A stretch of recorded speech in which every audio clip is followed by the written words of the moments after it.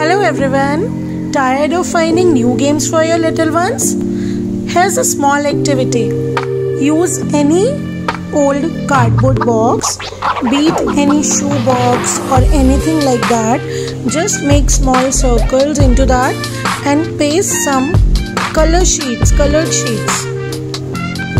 You can use crayons also to make different colors and give your kids different colored balls sort them out.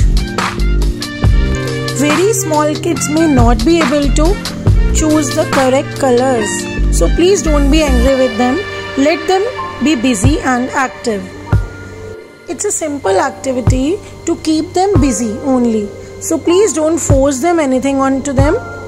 If they are easy in sorting the balls according to different colors it's very good otherwise slowly they will develop the knowledge of colors. And they will be able to match different colors with the ball with the uh, colored holes. So let it be fun for them. Bye bye